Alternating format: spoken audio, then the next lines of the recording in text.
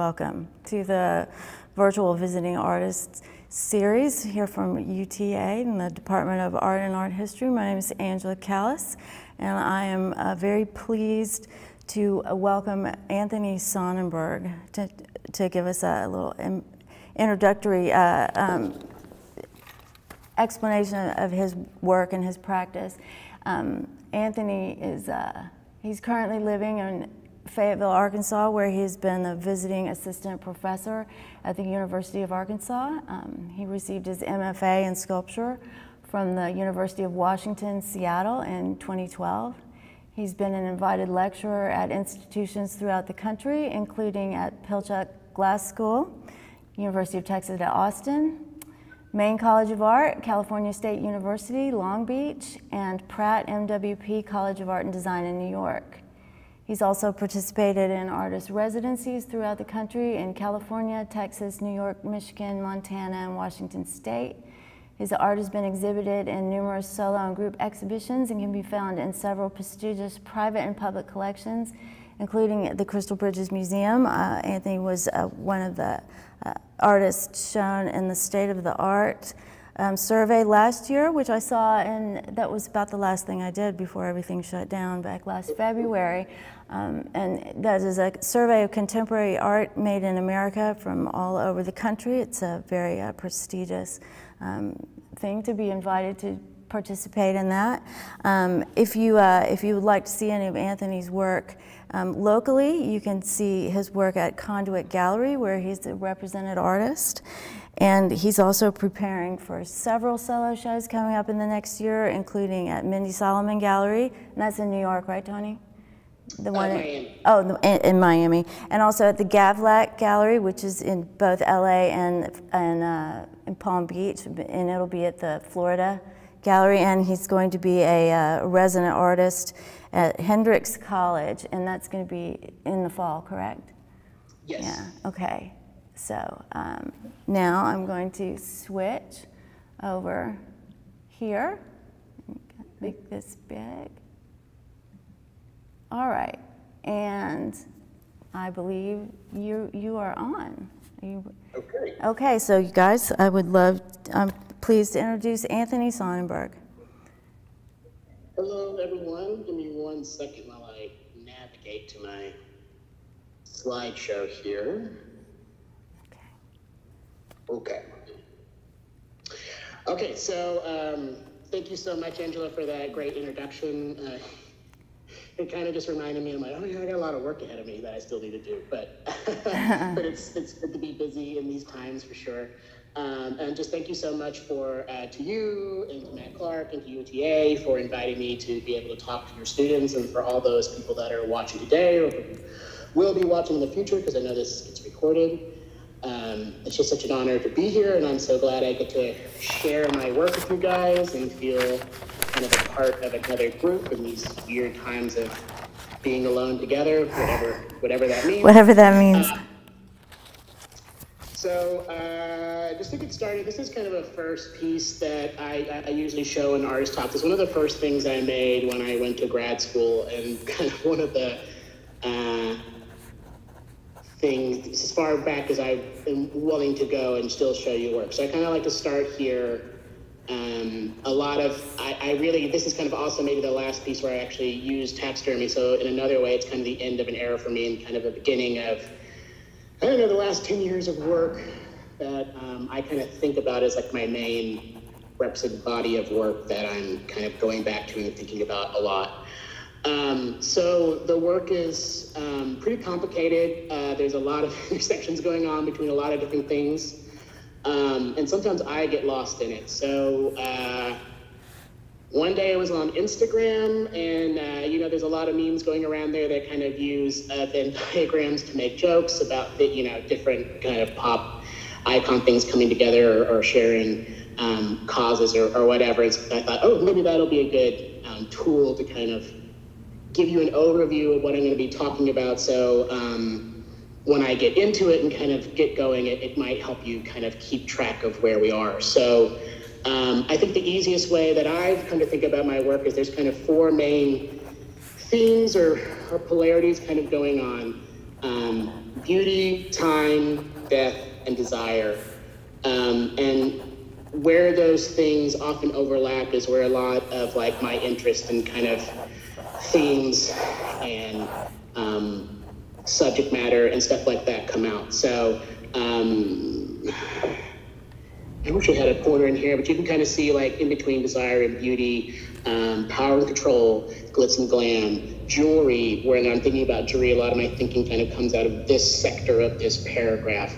Um, and a lot of that also, you know, so where do beauty and desire and death all come over for me? Well, a lot of times I think about queerness, fear, fear for my body, um, fear of weakness or seeming weak or, or, or being an, uh, an object of weakness. Um, flowers are here between death and desire. We'll talk about flowers a lot. Um, Rococo, which we, we will see referenced a lot, um, is kind of conveniently, you know, this was an interesting thing. This is actually my third draft of one of these graphs, and I learned something very interesting for myself to know while making this that, like, while putting out these sectors, my body, which is a very constant term, and then our subject in my work, and then the Rococo theme, which has supplied a lot of the kind of aesthetic. Um, uniting factors throughout the work um, exist in this same kind of sector between beauty, time, and death. Um, so sincerity, we'll talk a lot. Craft is kind of in here between beauty and time. Um, so uh, yeah, and I, it's actually a project that I'm giving to my beginning collaborative thinking students as a way of kind of bridging um, from the visual to the verbal for artist statements. Um, but anyways, if, you, if you're looking at this, this hopefully this will kind of maybe if you're also this is getting recorded, you can refer back to this if you should ever get lost um, in the kind of stream that's going to start. Um, so I'm going to start with influences first, kind of major influences in my journey. Uh, as those grew and changed and built, you know, kind of built one upon the other. Um, and the first person I always generally start with is Bernini. Um, he was really kind of one of the first true art icons for me, meaning that when I saw his work and learned more about his methods and his context and where and how and why the work was being made, there was just a real um, galvanizing feeling of being like, ooh, this is this is where I want to go and what I want to do. And and this aesthetic, even before I kind of understood who Bernini was, was always something very early on that really got me kind of my heart pumping, and I had a real just um, knee jerk reaction to like. And I think a lot of like my journey through undergrad and grad and kind of thereafter was figuring out a lot, you know, what exactly about that aesthetic did I like and how far could I go in recreating it? And, and when I recreate it in my own context, you know, what can I bring up?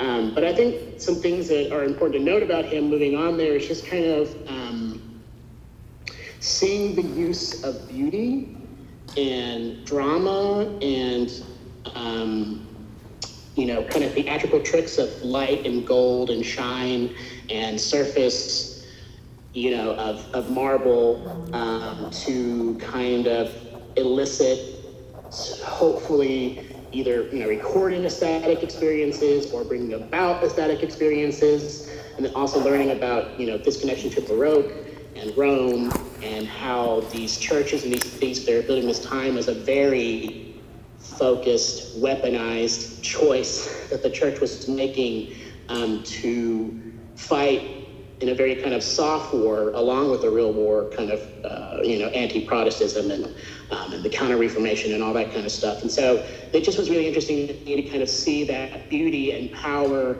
and politics um, were all together, and that beauty was perhaps not as banal or um, innocent as maybe I had thought kind of earlier in my years. Um, another kind of really important influence for me um, is the still life, which is you know one of the oldest. Um, I'm turning on my alarm so I can make sure I keep on time. Excuse me, guys. Um,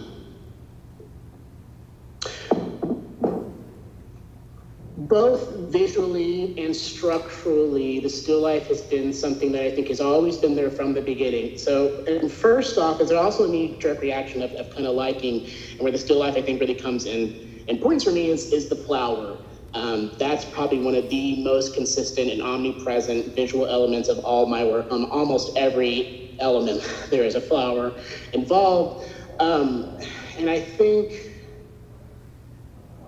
I still think a lot about what what the reasons for that are, but um, flowers do a lot of work for me, kind of in my mind. They um, do a lot of representation of what beauty is. I, ha- I just find them so beautiful, but um, I also there's something you know historically also about flowers is they are they are so beautiful, but they are also um, short-lived. So this association of like beauty and the shortness of beauty and how that can be a metaphor for the body, which I think you know comes back a lot. Um, also, I'm from North Texas. I grew up in Graham, which is about two and a half hours away from where you guys are now. Um, and as you know, our climate's very harsh. We have maybe a nice spring where you can get some flowers going, and then the, and the summer comes and it's just like like a heat death ray, and everything just dies. And I just remember there would be like times in the summer where I'd just be like, it'd be so hot. I'd be like, how can anything possibly live? Like, how how is this even possible? So um, I think, you know, flowers were really early and gardening and, and that kind of part of like, you know, nature um, and the cycle of life there and seeing it so harshly and so quickly and so like constantly repeated. We'd always plant these flowers in the spring and I would be so happy and love them. And, and then as soon as the summer came, they would go away. So I think that really kind of set up a real relationship in my mind between kind of beauty and death and desire and the shortness of times of those things and and and trying to focus on the beauty while you can, but also, you know, recognizing the kind of tragic nature of it because it'll go away. Um, so there's a lot of thoughts about um, the still life. But I also was kind of talking about the structure in that once I started getting past just the aesthetic appeal for they had for me and thinking more about what, why are they, how are they, what were they doing in their context, um, I kind of looked at this artist here on the right, who is named Rachel uh, Ruysch, uh, who is a 16th century Dutch painter, one of the very few rare women artists um, in the classic period, um, even rarer that she was um, recognized at the top of her profession as a flower painter. Famously, she was a contemporary of um, Rembrandt, and her paintings sold more and for more and more than Rembrandt's paintings. So it can kind of give you an idea of like her importance with these flowers, um, but also kind of understanding where they sit in kind of the Dutch thing of life about the Dutch and their trading and their rocket rise to to wealth and money, and then kind of the fall of it too when the English and the French try to take it away from them.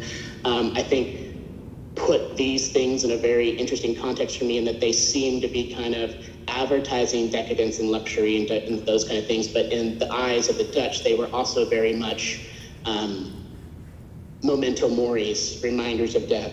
Um, and one of the things that I think really unlocked them for me into understanding how that worked was remembering that in this time, flowers and what flower, where flowers, what, what flowers were in your life at what time was strictly dependent on the seasons. Now we don't know that because um, we can get flowers from anywhere in the world. Um, and we can have any flower at any time, pretty much as long as you're willing to pay for it and have it shipped to you. Um, but in these times, you know, there would be no way that plums would be fully fruited at the same time that a daffodil is blooming. That's, you know, six months apart. Um, and the people in that time would have known that. And so they would have known from the beginning that these were dreams, that these were fantasies, in a, in a very real way for them that we don't see. Um, so just just that kind of push and pull and and the seeing of something looking like it is on the surface, but then you learn that in its essence it's very much different than that. And seeing, you know, and seeing that reflected in life and my experiences in life and and and those kind of things were um, really important to me. Pay a lot of you know homage back into the work. Um, and then just very quickly, this image on the left is by David LaChapelle, who is most known for being a fashion photographer. He worked a lot with Vogue, still works a lot with Vogue. Um, it's kind of important to me because he's one of the first places where I saw kind of um, interesting queer, kind of erotic Amanda Lepore culture coming to me in my little small town of Graham. So I knew his work because of that, but then very later in my grad school career, I stumbled on these images of these still lives which I'm really kind of fascinated with because on the surface they look very much like these Rachel Ruysch paintings, you know, in subject and then the amount of the kind of detail and the and the jewel-like quality of the image are very much the same. But then um, where LaChapelle puts in the fantasy is the grease and the dirt and the edges of it all, and his kind of referencing of pulp culture in the back and rotten fruit with um, Vienna sausage, which you know could be a feast, but um, maybe not the feast that you had in mind. Um, so just the way that he was able to still play with dreams and play with fantasies, but but have those dreams kind of tick from happy to, to from happy to tragic um, in the same image as your eye moves through it, and how he does that was also a kind of big influence on me and kind of a function that I try to have go throughout my work too. Um, I added this in. I'm actually doing a talk with this with this artist tomorrow um, for Crystal Bridges, um, but this artist Jeffrey Mitchell was also a huge influence on me. After I got out of grad school, I went, he was on my committee and kind of helped me in my last year of grad school and also hired me to work in his studio and was a very kind of important lifeline in learning and, and traditional character in my life because he, he really kind of helped, helped me understand how my aesthetic and my desire to make my work and where my work could be and how that exists in the real world and outside of academia. Um, and just giving me a lot of tips about like not having to make everything big and glitzy, um, letting sincerity and kindness and cute and clumsy and um, nostalgia and these kind of things were in his work unashamed and unabashedly, um, which is not something that always, at least in my perspective, comes into the art a lot, especially when it's kind of in the higher upper fields. But just seeing him work and getting to work with him and see how he made that possible in a way that was not kind of abstract, maybe this will happen one day, but he had been doing it for years. And also, he's a very, he's, he's much older than me. He's in his 60s, so he just had so much perspective about what making an art in the career could be that I just really was inspired by and kind of see myself as kind of carrying on in his legacy, even though he, you know, he's still very much alive and very creative and, and working a lot. But um, a very kind of also important person in, in teaching me, showing me kind of the future for the artist that I wanted to be. Um, this image right here is kind of to denote Rococo, which you saw in my, my Venn diagram. Um, and this is just kind of, it's a tail end little cousin part of the Baroque, but also kind of its own thing uh, that really happens in France and Germany and, and, and, and Western Europe. Um, but for me, it's really kind of infamous because I respond to its beauty, to its jewel-like detail, to the lightness, to the frivolity, to the way the nature comes in, to just the kind of dreamlike story nature of it that seems so appealing and, and so desirable. And it just seems like a Fragonard painting, and I want to be there. And then I have to remember that this also comes right before, and some say could lead into, and a cause of um, the French Revolution. Um, although, of course, another way you could see it was this was just the last little glass before this generation had to pay for the generations before it. Um, but, anyways, that, kind of tragedy behind it, but the beauty on the surface and the romanticism of it and the intimacy of it have always been something that when I kind of set my own visual standards about, you know, what what really makes me have a feeling of satisfaction when I finish a work is when I somehow maybe get kind of close to this. Um, and you can kind of see how some of those things have come directly in this self-portrait figure here with that, that silver fabric. I mean, I think it goes directly back to that room and its decor, um, and also this kind of chandelier um, with its detail, but also its droopy, uh, kind of decaying nature. Um, here's flowers. Um, this is a piece, this is actually still from grad school too, um, although it is a little bit later. Um, and it it's it was such a an intense kind of labor that I still show it. It still kind of um, amazes me that I, I somehow pulled it together back in grad school. But all this is handmade, um, fab, you know. And I was just thinking a lot about why this kind of craft was so important to me, why it kind of gave me the sense of satisfaction. And, and I think there's something about the detail that mesmerizes. And so I'm really into this idea of the attraction of it. But then also I started thinking a lot about what the equation of time and labor plus intense consideration equals. What does it buy me, in a sense, if we were to think about it? And, you know, what am I getting with that? And what I kind of came to think is, you know, time is kind of it's, some people say, and I, I kind of agree with this, that it's the one currency um, that you only have one amount of. Um, you can't, you know, you only have a certain amount of time in your life and how you use that becomes very important. And so if you use some of that precious time um, and your labor and your and your energy and you pour it into an object, what it kind of buys you is a, is a, is a bit of timelessness, but also a sense of sincerity. Um, I donated, sacrificed time, which is the highest thing I can offer in certain ways. And so because I'm offering that, you can be certain that I mean what I say, um, which kind of really, I think, has become an important concept these days when truth and reality, um, especially in our culture and the political system, can just be so insanely wildly varied. And um, finding, you know, a locus for your interpretation of reality is becoming ever more important. Um, which I guess kind of brings me in a weird way to another really big influence in my life that I think has been growing and growing and, and, becoming more and more a part of my artistic conversation in the last probably five years, which is the Antique Roadshow, both America and Britain. Um, if I can get copies of it, there's one in Australia, but I can't get access to it yet. Um, but I, I, guess in a way, it's kind of like object porn. It's like objects coming through and, and being lit and nice, and you get to hear the stories about them, and it's very calming and, and I don't know, fun for me to watch. And so I'm always watching Antiques Roadshow when I wake up, and I'm watching it when I go to sleep. And so I've been thinking, you know, what is it that's so interesting to me, so compelling to me? And I, I think there's something about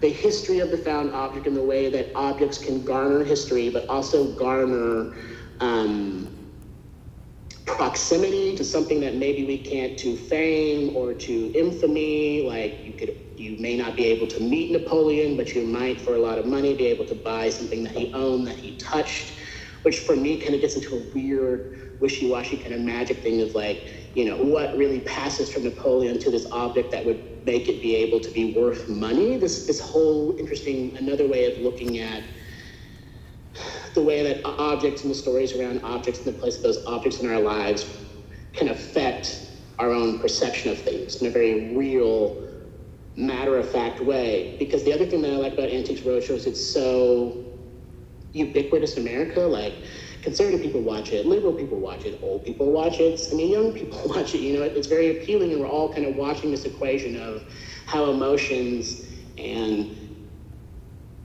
and things of the heart and lust for craft or objects or beauty can be translated in a very real way through desire into the world of like money, which is a very concrete thing, even though it's super not concrete that we all kind of understand. So how that all, that equation works and the way that math in our minds happens is, is all very interesting to me and how that, in a way, I think really empowers objects and, and how I can kind of work with that.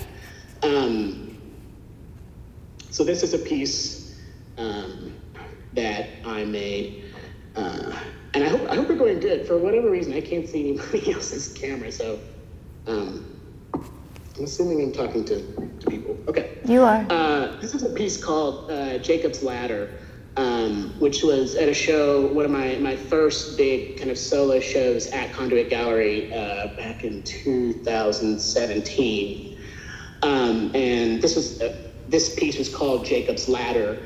Um, and so I just kind of the thing that's where, you know, coming from Antiques Roadshow is one of the things that's really happening with these ceramic figurines and stuff, um, and we can kind of see it more in these detailed things, is, is the figurines and figures that you're seeing in these pieces are, are found figurines. Um, and it's very important that they be found figurines and, and found, and there's also found fabrics and um, things that people knit, and they're all coming from the thrift store, which is kind of like, like the pound of, of objects. Like, you know, they get thrown out or discarded away, and then you come in and I walk through and I go, does this have the personality to be reborn into something else? Um, and so there's kind of that thing. What I, I guess what I really get interested into is it it allows me to support a habit of going and buying and collecting objects and kind of being in thrift stores and seeing what makes it a cut and what doesn't and this really basic low level decision making thing and thinking about how can I apply that back to my work. But also that all these figurines that I'm buying, all these found fabrics and stuff like that, all have whatever that energy location is to other people that I'm talking about in the Antiques Roadshow, but it's all unknown. It's all just kind of a romantic notion in my mind. But I think it's really important to me because I'm such a fan of history, and history is always a building upon things. And so I think that's always been really important in my art as well, that the found object plays a huge role in that I am not ever the ultimate originator. I am a finder and an, and an adder on of um, and recaster. Um, but I think it's something that's really important that, that the objects that they're based do not start with me totally, that they have their own histories that I am just adding into and building on top of. Um, and where I am kind of with my ceramics, it's kind of maybe the most um, prolific side of the practice, although kind of conceptually it, it, it kind of has a very um, smaller sector. Not, I mean, main sector, but equal to the other sculptures than it, which maybe it may doesn't always look like as terms of like how many objects I'm, I'm turning out. Um, but where I am kind of with them now is I've this this method of the found figurine with the fabric, covering it in slip, getting it fired out, um, is really figured out and down pat there's not a lot of questions left in it for me. And so where I am kind of now is just like trying to get much more serious and focused and considerate with what the actual forms are doing too. So that it's very much a marriage of kind of the surface plus the form and the conceptual and just kind of which is a much slower refined process. So to kind of show that here are these two chandeliers that I made. One I made, the, the one on the left was made first and the one on the right was made second. Um, and you just kind of can see how the reason they're the same color is the one on the right was a commission and they wanted the same color. But you can also kind of see how I'm trying to push the form further always, adding electricity, making the different layers a little bit more pronounced or, or different, making the column a little bit taller. Um, so that's kind of where I am with the ceramics right now, which is a very interesting and, and new process to me because it, it's really kind of a, not a thing that I had so much time for in the beginning of my career, but now I'm kind of reaching and getting, I don't know, settled into it. Um, it's kind of another side. Um, so another form that you kind of can see come up is, is this clock thing, which relates directly back to time. Um, I think one of the things that I find really interesting about ceramics is that this kind of connection between the inertness of ceramics. So if you bury ceramic in the ground, it doesn't rust, it doesn't rot. Um, it's in a, kind of in a word, incorruptible. Um, so it has this potential to last indefinitely, but then it also has this other side of fragility, uh, which makes it not hermetic, not incorruptible. And so I'm always kind of interested in this one step forward, one step back that I can translate into ceramics, which in essence kind of makes them last longer, but also makes them in another way more fragile. And this this kind of push pull and possibility game playing with kind of you know trying to make myself last make the objects last but also kind of ultimately maybe failing in the end is something that kind of really intrigues me um, i put these figures in here this is also kind of a really major um, aesthetical influence for me. Uh, these are Meissen ceramics, uh, and I think the one on the left is maybe English Coalport, that this is 17th century um, porcelain. This is being made in Europe when porcelain, uh, maybe right after, right before this, this is kind of after they started inventing their own porcelain and figuring out how to make it. But there was a time where it was worth more than gold, um, and it was tied up to tea and and people's addiction to tea, which I think is kind of interesting. But also these things were extremely expensive in the time period. They could cost up to the equivalent of several hundred thousand dollars in our money. And they seemed very bright in frivolity, and they had these Rococo themes of lovers in the field, or even this one here on the left, which is more militaristic. But if you had a piece of this in your house, they would be very political and very power oriented. People would know that one, you were wealthy enough to afford them, and two, you were in touch with the taste of the royals or whoever was in power. So um, again, just this understanding of, of kind of don't necessarily understand or judge a book by its cover. Something can be pretty and be a Trojan horse and still have, uh, in a certain context, a hell of a lot of power and a hell of a lot of meaning and a hell of a lot of um, impact on people's lives. Um, this is kind of a piece we kind of a Campana vase form. This is actually the piece that um, just went into the Crystal Bridges collection. Um, you can kind of see how those forms are related there. But also, this is a bit of a Frankenstein piece. Um, and I think kind of again speaks something about how, you know, like things happen and, and, and, and a lot of me is the art is reacting to them and kind of seeing where we get on the other side. So this piece um, was never meant to have these colored flowers in it. I was just going to have a really kind of beautiful white and gold classic thing. And then when you fire these things, I had to go through two two firings. There's a bisque in which the clay gets fired for the first time, and all the fabric and everything non-ceramic gets fired out. And then there's the glaze firing. Um, well, when it came out of the bisque firing, yada yada yada, it fell flat on its face when I was trying to get it out of the kiln for a number of stupid reasons. And a lot of things broke and a lot of things came off, and I was working at a residency, so I didn't have a lot of time. And I just, you know, I had a choice do I throw it away or do I pick up the pieces and move on? And so in my mind, it, it had a lot of holes. So I went and glazed it and said, okay, what do I have? And I thought, well, I can just fill them with other flowers and I'll just glue them in place and we'll just see what happens. Let's give it a shot. Um, and I think it, it kind of spawned a whole year of work and became one of my first pieces to get collected into a major collection. And so, um, again, yeah, I just think this rolling with the punches and, and respond, you know, and how people respond and build upon the things that happen from chance and how that gets reflected in history and how I can kind of reflect that history and these things that I'm making. Um, this was kind of a really interesting way that that all came together. So something that's been kind of happening in my work a lot lately um, is I've been trying to think and kind of focus on death and the way that we design around it and, and work with it through kind of the objects we've made, maybe not so much now, but in the past, really kind of interest me um, because I would go to these cemeteries. This is a big giant cemetery called Greenwood Cemetery in Brooklyn. Um, and it's huge and it has just these major buildings and 30 foot obelisks and all these things that were just built for individual memorials. Um, and I got really interested in it because um, there's a lot of hubris and a lot of stuff going on there and a lot of displaying of family wealth and those kind of things, which, which are interesting and not not interesting, not really what I was interested in, but I also was when I kind of started stripping away this idea of having an object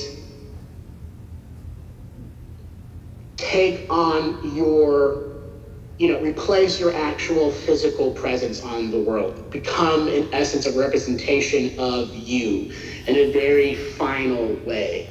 And, and, and, and an object that looks like it doesn't have any purpose on the surface, but actually has maybe one of the most challenging and endearing challenge of all, which is just simply to say, I existed.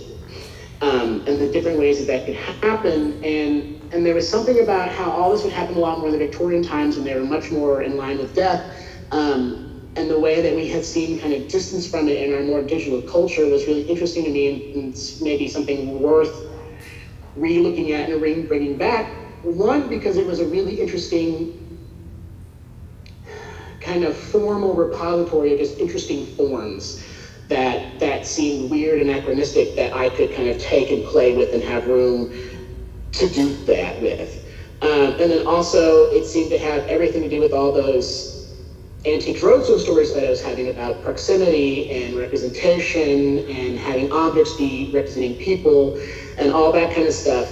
Um, and also maybe re-looking at ways that monuments could be divorced from physical forms of people um, so that perhaps they could have longer lives uh, and and be more representatives for more people. Like maybe instead of ha- and the body, we could just have flowers in a permanent way and, and know what that means. Um, this is kind of a, which I'm still not to the bottom of that, but it was just something that I was kind of thinking and still thinking on. Um, this is kind of a shot of actually what the things look like before they get fired, where you can kind of see how it's all just down flowers and trim and all that kind of stuff, and this is just covered up with slip and fired out. And, and they start to kind of look like this. This is another kind of tombstone form. Um, and I, this kind of question of death and dealing with death and how death could be dealt with in design and, and, and also coming into being a ceramic teacher and having to think more directly about what is ceramics, what does it stand for, what is its history, what is its purpose in a more kind of direct, responsible way, um, got me thinking about how it really was no concession at all to make functional objects as long as you got interesting with what the function was. Um, and so kind of, and I think we're kind of in a town where death is so much more on our minds because of mass killings and white supremacy that causes a lot of death, and deaths from disease, and possibilities of death from environmental disasters that we cause. You know, this, I think there was a time during the 50s and 60s and 70s and 80s where we, we just did not see the limits, and now we're, we're really coming into terms with with limits and ends of things and people dying and that being important to us and being a conversation in our lives again in a way that maybe it wasn't so much in years past. And what is art going to do? How can we design for this and, and accommodate this, this change? Um, and I think it was just to kind of rethink what those things can do, rethink the places that they can be in our lives. Um, rethinking the play. I don't know, this this basket was also made kind of, you know, expanding where that could be, because as much as I love flowers and I love cut flowers, it kind of occurred to me one day that when you when you cut a flower and put it in a vase, you're in essence kind of having a traumatic death play because the flower will slowly kind of fade and die in front of you. And you know that the minute that you cut that flower that you're putting a kind of timeline on that flower. And so if you think about it in that way, even things like a flower basket with covered in thrill, you know, not thrill, frills could be a kind of gothic, um, momentous thing. Um, and another place I was thinking about it was kind of in these urns, uh, making them things that were aesthetically beautiful, interesting, and also could have other um, functions. So this is an urn uh, specifically for a pet and parent. So inside the urn, there are two uh, compartments. One is kind of smaller than the other one. So if you have one pet and you want yourself, you can be in the larger one and the pet could be in the smaller one. Or if you have a thousand, you know, five dogs, then maybe all the dogs go in the big one and you can go in the small one. But, you know, just thinking about who and how we want to spend our afterlives and who goes with us and how that memory can be kept on and carried on um, has been something that I've been really thinking about and was thinking about before the pandemic happened and before um, all the deaths of the people last summer and just all the deaths that we've been having so too much of lately. Um, I don't know, just made me feel like I should keep going on that. So that's always, that's something that's happening a lot in the studio now. Um, kind of moving on from the ceramics, another kind of thing that goes in the work is a lot of installation things. And so when I'm kind of thinking about that, again, I do go back to the 17th century kind of European aesthetics. But this is actually a very interesting case. This is this is the house of a person um, named um, Ludwig II, who made a lot of fairy tale castles. He made um, one of his castles, which I can't remember the name, um, uh, is the is the the basis and the model for the the Disneyland castle um, in California, and um, when you look at this image, what's going on with this guy is um, there used to be a time in Europe where Germany and a lot of the other kind of those countries were not one solid country. There were a lot of mini municipalities, and they were kind of called the Holy Roman Empire.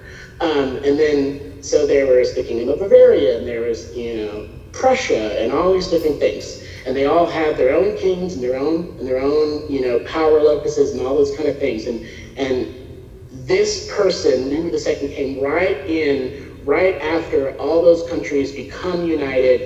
Um, and there's there's one leader who is not him. and so he's kind of a, he becomes for the first time in his family a leader who has money and a stipend and a title, but does not have any kind of actual physical power. Um, and um, he can't really handle it. He's got a lot of mental problems, anyways, and uh, he um, uses this money to make these fairy tale castles.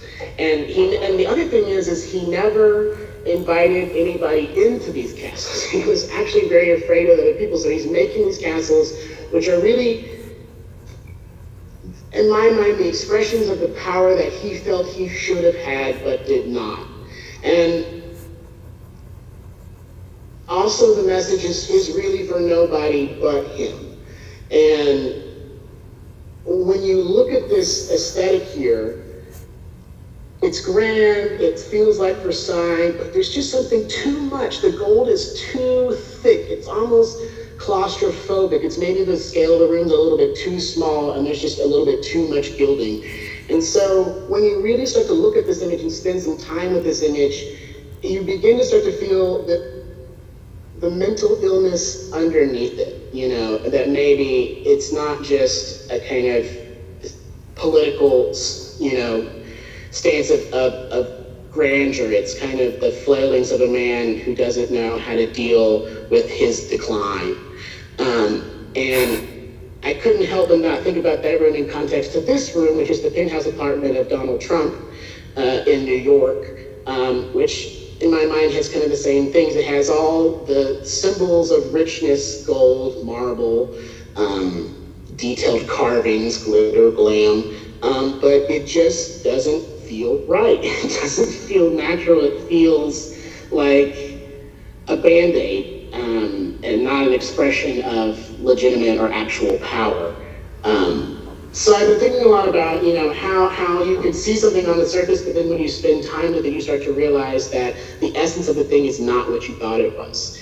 Um, and so I've been making a lot of these series of these kind of installations, which is just a whole bunch of different objects um, collected that are kind of along a similar color scheme of gold and black um, that equal uh, nothing.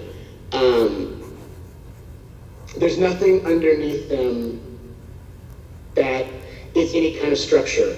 Everything that this is built up on is just boxes and chairs that's just covered with fabric and has objects stepped onto it. So it's just kind of thinking about the aesthetics and the surface of things and how I could make something that drew you in um, and had all the power of the glitz and the glamour, but, but then, you know, could could also fall apart under kind of certain, like, you know, closer um, consideration.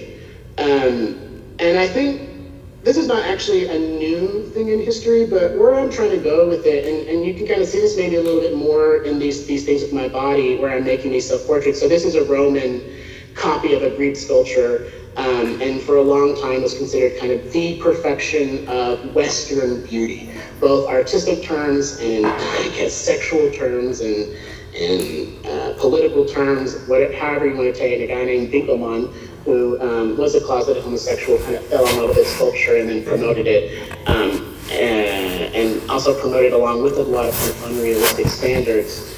Um, so I have been thinking, you know, these things have been so long, and, and I want to compare kind of directly with them, and so I, I made these kind of, uh, and still making a series of these beaded portraits. Um, where I kind of base the poses off these classical statues that idealize bodies from the Greek myths and, and put what what I consider not the idealized body, at least in culture. And and there came a time when I was maybe not so positive about my body. I wasn't sure what to do with it. I was dealing with a lot of like, who am I and where do I fit in the gay community? And I, this was during grad school, and I was learning and growing a lot, and not see and you know getting getting familiarized for the first time for the no fat Femmes or Asians kind of I like what I like politics of like the gay world and and dealing with that and trying to find love for my own body and, and um, confidence in my own body. And so I was thinking a lot about Gothic works that had all these gems that pilgrims would bring, and then they would take all these gems and they would build reliquaries. And and slowly but surely, one gem by one gem, they would they would honor these things that had this ultimate kind of preciousness in their religious life. And so I thought, well, maybe I can replicate that thing for my body so that I bead one bead of a precious stone at a time, learning the outline of my body one bead at a time, kind of honoring it one bead at a time and building it up just the same way they might build a reliquary in, in, a, in a Gothic church.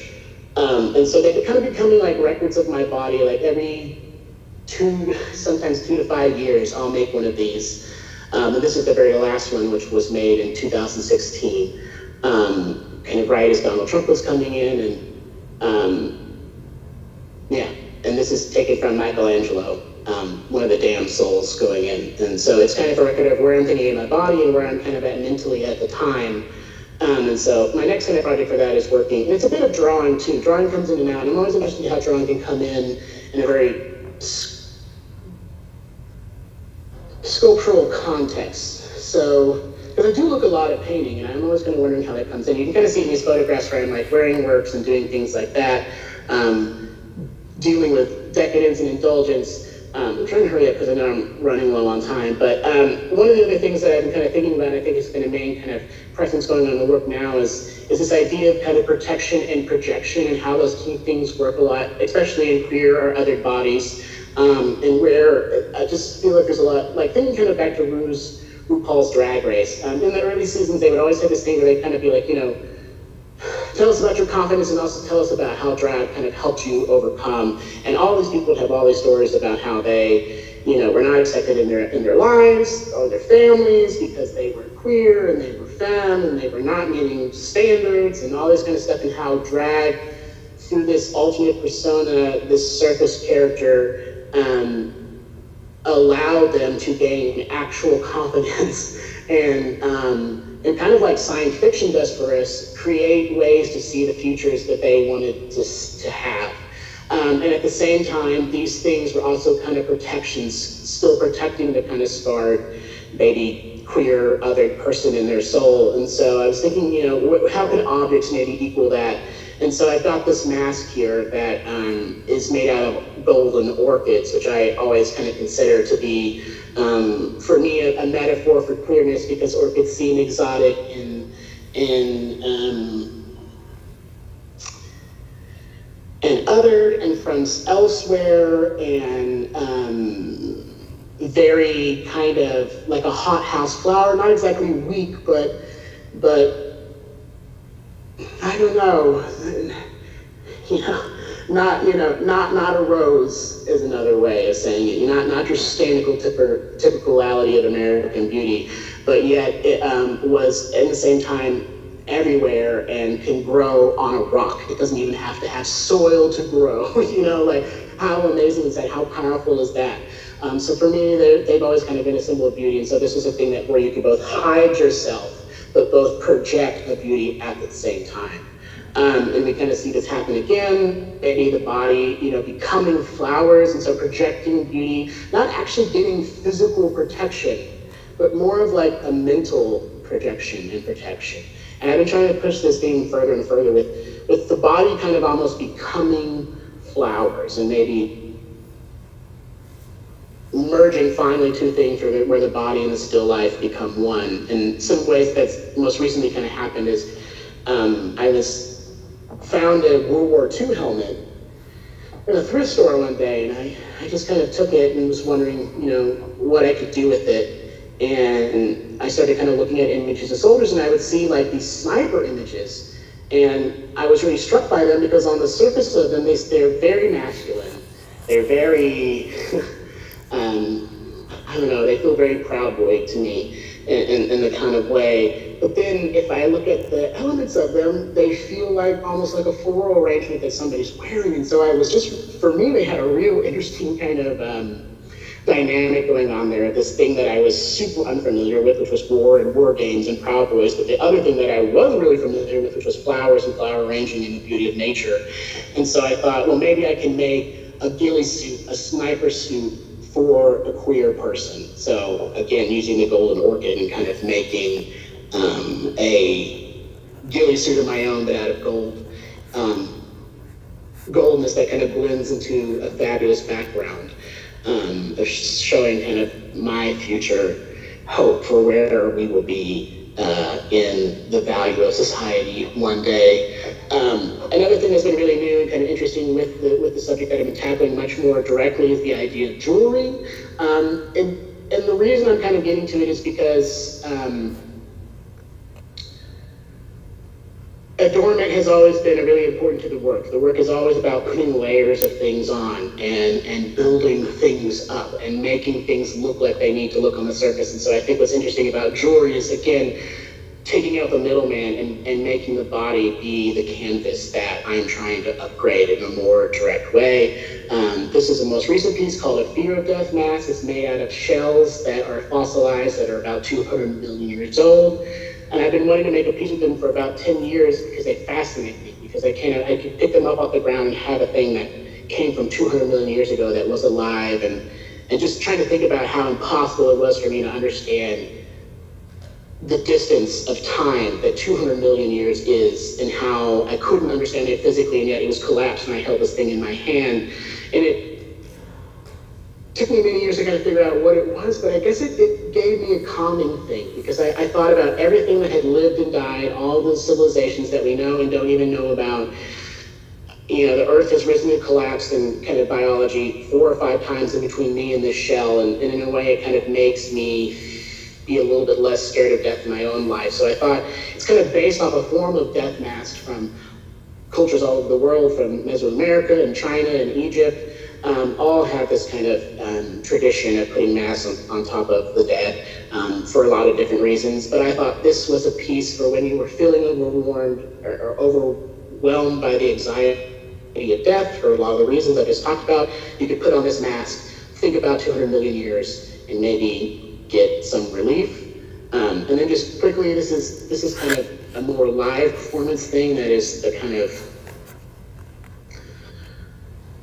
strangest part of my practice and, and kind of the most exciting part of the practice and the part of the practice that I know the least about what it's doing. But again, um, it's all about, I think in this point of time, about trying to make more intersections, cut out more middlemen, and say, what happens if I become the figurine in the ceramic piece, um, making my own world. And so this is me kind of in a live action way copying forms of Greek sculptures that, that were slowed down and made kind of ambiguous in, their, in, the, in the time that they're taking that eventually kind of makes its way to a full reclining kind of death pose. And that was kind of the first one of the, oh, sorry. One more thing. Uh, I've been thinking a lot about just taking the body out of the equation and how the body can be represented by flowers or objects.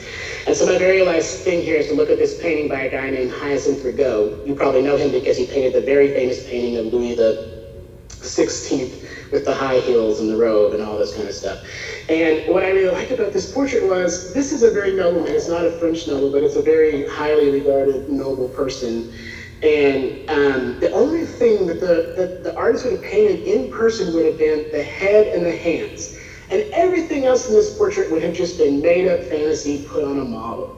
And what I like about this is like, you know, with Instagram and all these things, it's so important that our bodies be represented in the world and that we kind of stay to them. But what I like about this, it's almost like a digital fantasy of like, he's just being letting the artist project him into this fantasy. And he's not worried at all that his actual body is not being represented. His actual body is just kind of being transformed into flowing fabric. And that that denotes wealth and power, and that that's what he wants you to know not where he physically is or what he physically comes from. And so I just been kind of really getting into that, interested into that aspect and how that could come into these figurines. And so this is one of my most recent kind of performance pieces, which I'm planning on showing at Mindy Solomon, um, where I kind of made a clay version of that painting that I could just kind of step in and exist in.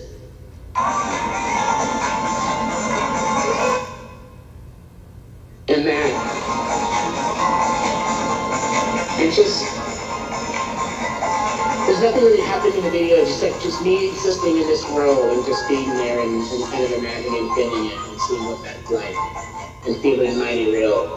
Um, because I think one of the things that I've been kind of thinking about so much about the work is about surfaces and false and true. And I think so often, you know, like, and how surfaces can be used to deceive. And I think so oftentimes we kind of think about that in a negative concept of, of, of, things being used to trick other people and take them away. But I'm like, what if we can use that in, pos- you know, in a positive way to where we can pretend and make surfaces of what we want to be in the future that, although they're not real now, could be real one day. And that the dreaming is important to know where you're going is sometimes the journey. And so been thinking a lot more about that and how that works. Okay. That's a lot. I'm sorry, I went over time majorly. Oh, no, don't be sorry. Deep breath, right? I'm sure you could go for another hour. Um, I, I, do have some questions that we've gotten, so I'd like to just go ahead with these before we're, before we're done. Um, I'm going to start with this one. Thanks for sharing your work. I'm interested to hear more about your performances. Can you point us to other talks or interviews where you spend more time on these? Um, I know time is almost up here, so is, is there any way you could give us some some other other places where people could look look look some of this up if they're videos or uh, well, uh, all the all the performances that have been done so far are on my website, so you can see them there. Um, as for more talking about them, there's not a lot because I, I'm never exactly sure how I feel about them. And that's kind of why they're so exciting and so scary for me because I still don't know what they mean. But I know that I need to make them. so that's where I am with those.